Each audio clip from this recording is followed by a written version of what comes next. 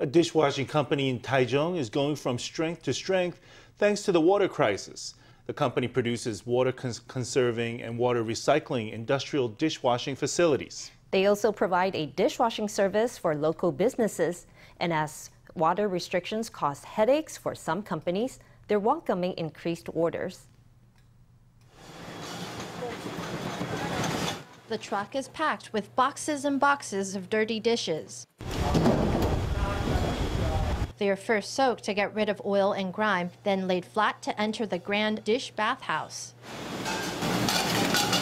This 20 million NT machine comprises a series of stages, a high-pressure water jet, rinsing, disinfection with 90-degree water, then drying to produce these sparkling utensils. This dishwashing company in Taichung designs and produces water-conserving dishwashing facilities like this one. They also run a dishwashing service, which, since the advent of water restrictions two days a week, has only seen its profits grow.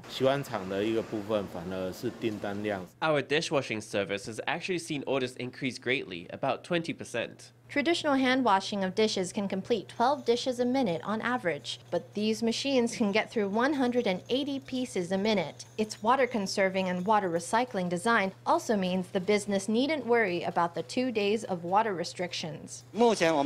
Here at our factory in Taichung, on average we do about 20,000 to 3,000 dishes a day. We can do a maximum of 50,000. The water shortage crisis is an opportunity for new and more sustainable business models to flourish. These dish dishwashing experts know the value of every single drop.